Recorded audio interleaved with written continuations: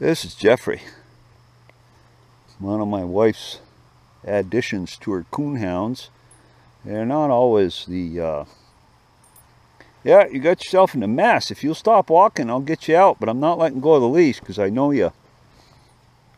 Let me have that. There. Yeah. He's kind of a big dog. He's about, oh, 13, 14 months old. He's a brute. Hey, we're just waiting for her to come out with the other ones.